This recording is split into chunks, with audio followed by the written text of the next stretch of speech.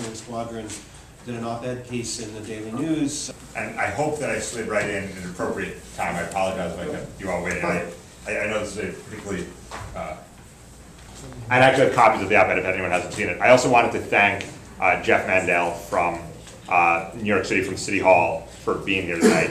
Um, Yeah, I, you know, I think mostly listen, but if you want to just introduce yourself briefly. From City Hall? Yes, ma'am. Okay. Um, and, uh, from, from mayor's office. Right.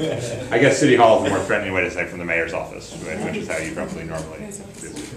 Um, and, and I appreciate, uh, Jeff coming and look, this is, you know, this is something where I'm really glad that, uh, the mayor's office is listening and taking sort of an approach where they wanna sort of understand where folks are coming from, since, you know, the, sort of, I think that if this were to move forward, the ball would be sort of in, in their court to, just to talk further about it. So I, re- I really thank you very much for. I know it's hard on, on late notice, so it, it means a lot. I think it means a lot to the community, or I don't want to community, but I, it's, it's a big deal. Um, so here, basically, in the time I've represented Battery Park City, as I think many of you know, I, I've worked hard, as has Speaker Silver, to increase, uh, community representation and the community voice, uh, on the authority board.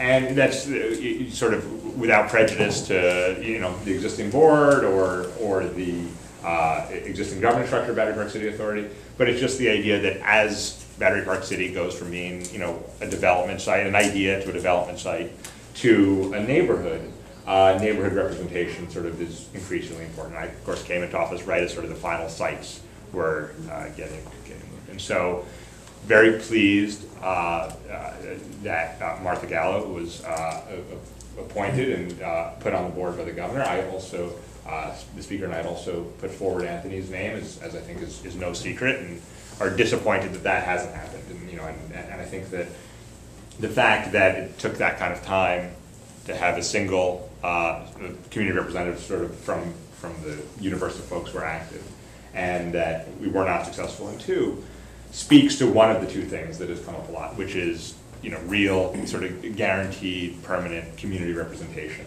on the authority board as the authority continues to be really a neighborhood and not a development.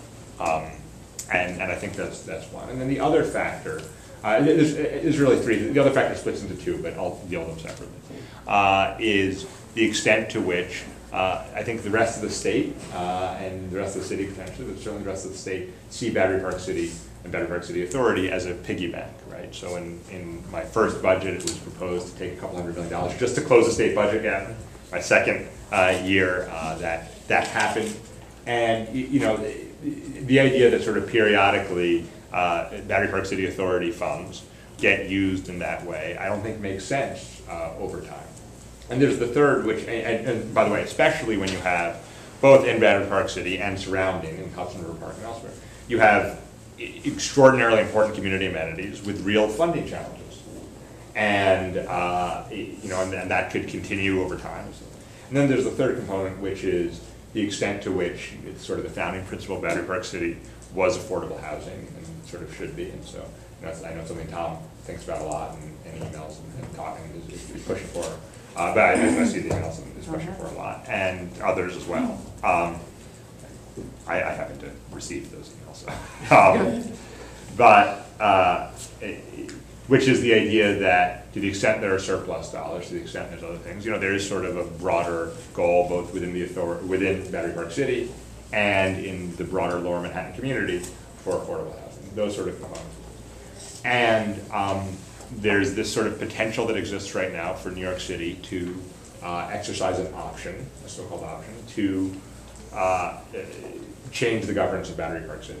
Now, when this came up, uh, I I guess it was a year ago, or uh, it was either a year, it was a su- summer, the last summer, or two summers ago. Um, November 2010. Oh, so, Yeah. uh, felt like summer to me, I guess. Okay. I- The concerns of the community were very clear, and, and sort of this is, you know, around that option. And it was because there was a fear that option would be the opposite of the three things that I just talked about, right? And so I think that it's very clear, and I think that uh, frankly, this, the city heard very clearly at that point, the speaker and myself and Margaret Chin all saying, look, these are the priorities and sort of the next steps if there's going to be a change in structure. But there's no reason, uh, sort of on its face, that that poss, that that sort of opportunity for the change of structure couldn't be used to create a structure that did some of these things that are being talked about, and it's sort of, that's it. That, that was sort of the op-ed, that was sort of the founding concept of it, where that permanent community representation, uh, you know, really ensuring that the state especially doesn't use it as sort of a statewide piggy bank when the budgets are hard, especially when there are amenities in deep need. And that there is this founding promise around affordability and affordable housing. We have a deep need of it in Battery Park City, deep need of it in Lower Manhattan, deep need of it in New York City. Uh, The existence of this option is a good point, good time to have conversations about what our priorities are here in the community. And if there's interest in those priorities being moved forward, wonderful. And if not, what we have now, and you know, and, and, you know, again, I say, you know, I think that, that the chairman, the current chairman, the current executive director doing a commendable job, and I work well with them. It's not about this administration. It's about an overall structure, and if that overall structure can be improved from the perspective of the residents and the perspective of the goals I talked about, that seems worth uh, at least having a conversation about. And that's really frankly as far as, as my thinking has gone, and that's sort of what my op-ed said. Again, there's copies that people want to see, but I don't know if, Jeff- if folks want to sort of talk about this a little bit, or? Yeah, I, I, I think we should have a, um, the state senator, the assembly person, of the council member, uh, of the borough president. And then that one, because of a bunch of sort of history, has three gubernatorial appointees, which is why it ended up so big. So if you hadn't had the gubernatorial appointees on there, you would have six mayoral and then the other, or five mayoral and the other four. Governor's Island similarly, you know, which is, which is in Community Board One, and is part of the Community Board.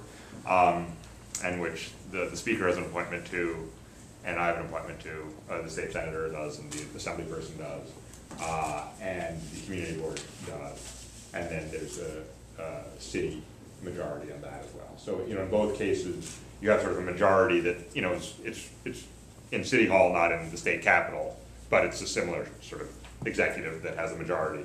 But you have defined minority, uh, a defined set of seats for sort of the most local structure that can be figured out. In the case of the community board, in the case of Governor's Island, there's not a community board, in the case of Brooklyn Park, there- there's borough president. So it's just some different, sort of ways that it's done. In terms of the dollars, you know, it, it's very hard to protect dollars from the state. It's, it's a state entity, in my experience. Having fought for MTA dollars and having fought this, uh, sweep as well, so.